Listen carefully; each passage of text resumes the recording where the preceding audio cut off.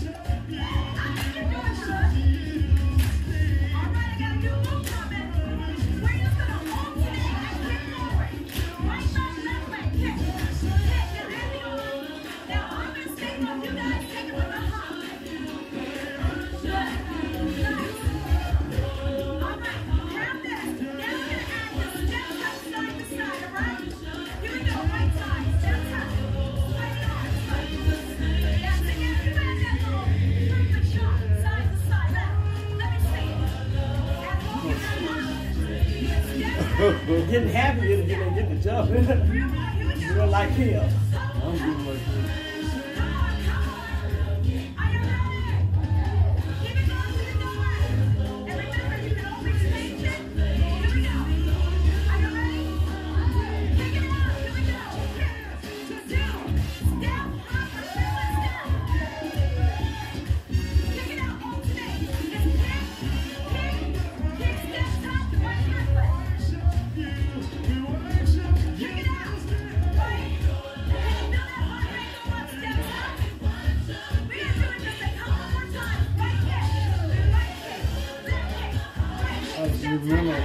warm up. Yeah. I've doing it since I was 15.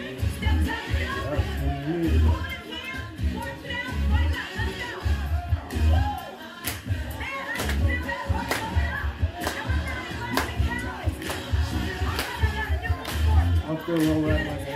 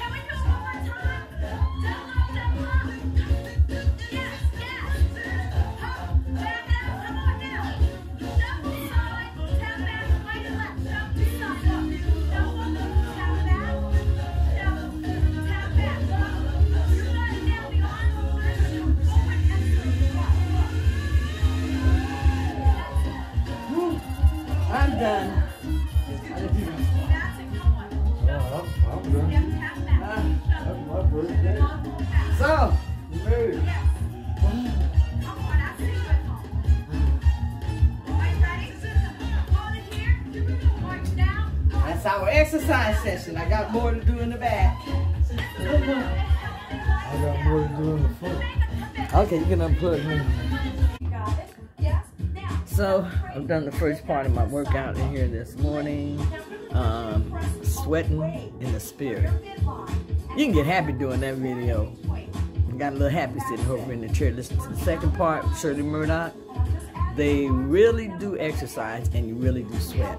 Now, I have been doing that video a couple of times and I have only been able to get through the first part and I have only been able to do 25 minutes so far. So, don't overdo it when you first start exercising. Go slowly.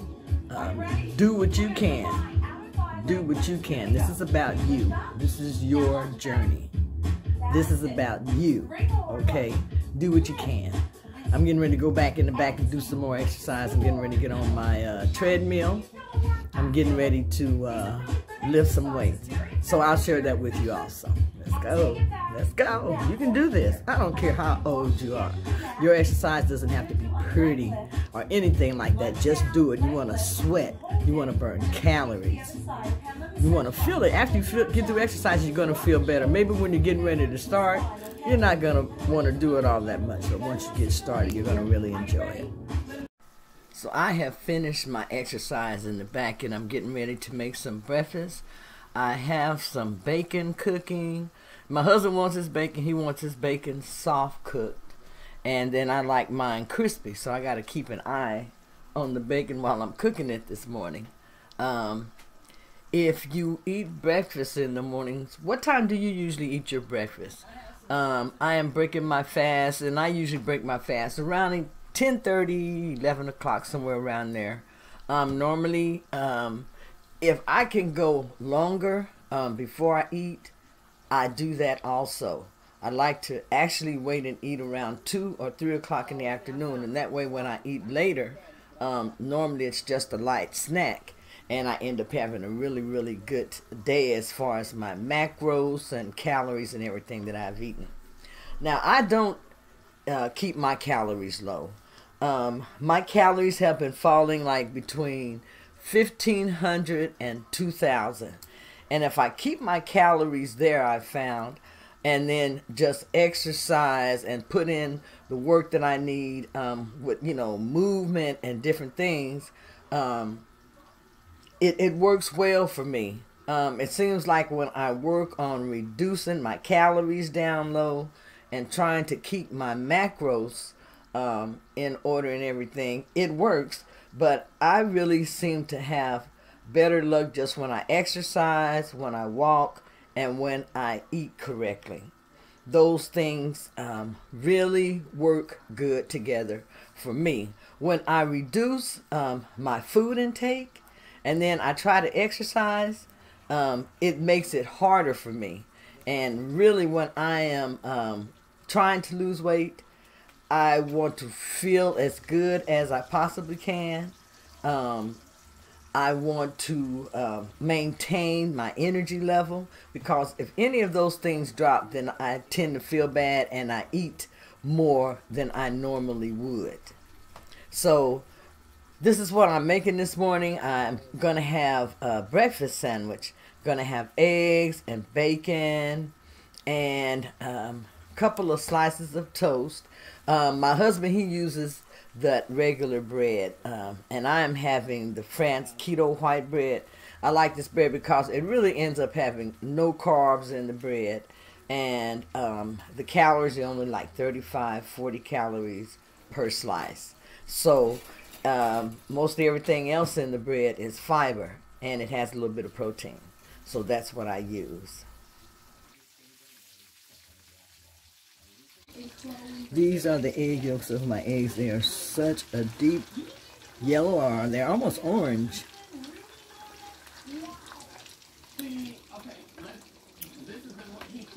Almost orange. says, Thanks for making the happy egg happy choice. Eggs from hens living on over eight acres of pasture, eggs from small family farms, eggs with insta-worthy yolks, no filter needed. Hmm. Those yolks surely are different, aren't they?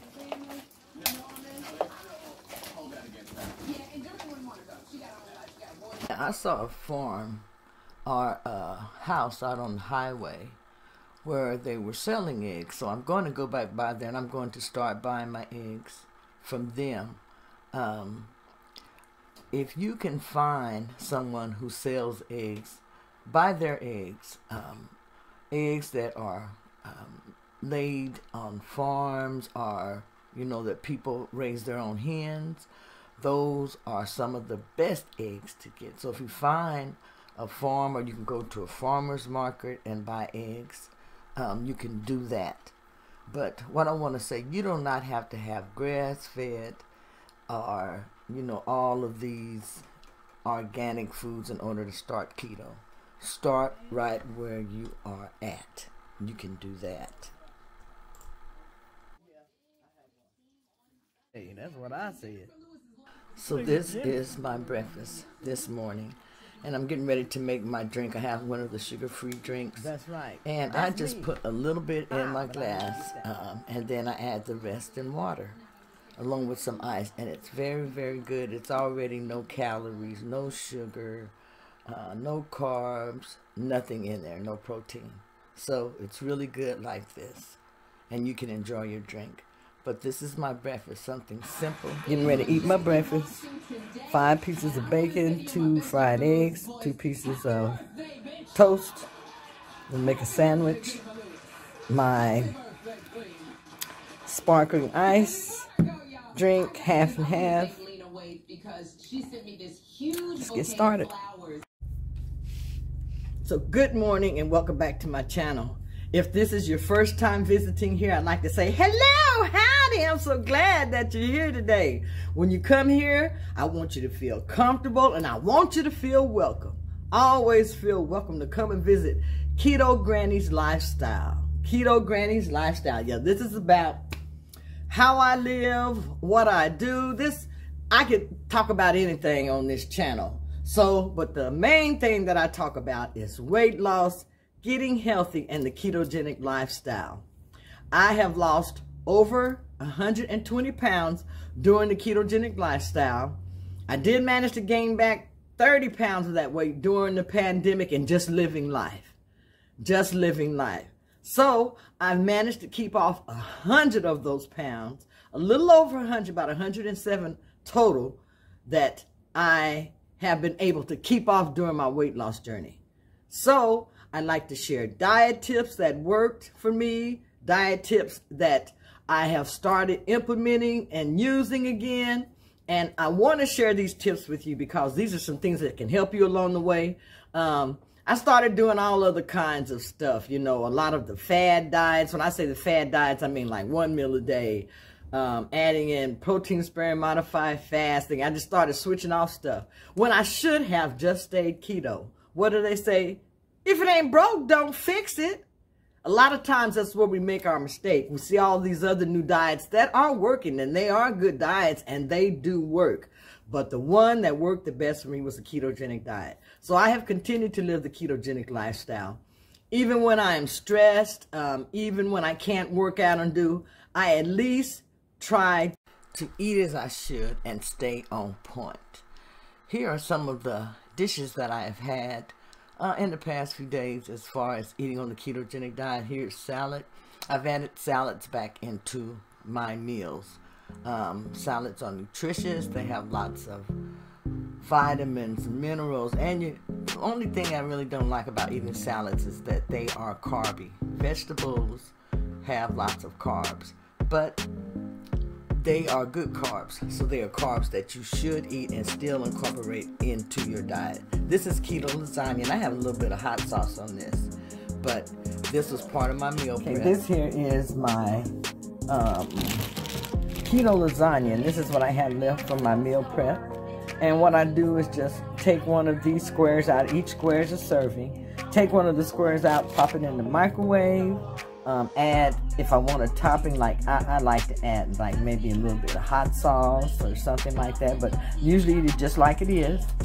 And this is a meal. I can add something on the side like arugula, uh, some spinach, you know, some green. I, I, like to add some green with it.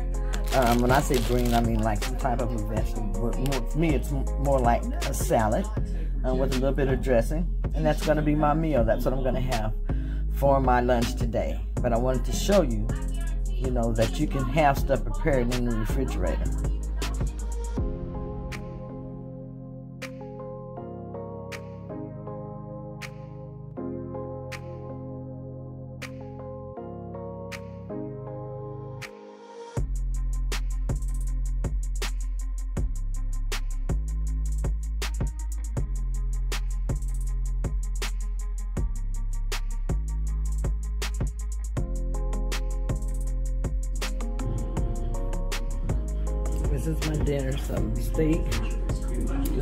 Bit of gravy on it, so I'll try to get lot of this gravy off. But I want some of the meat.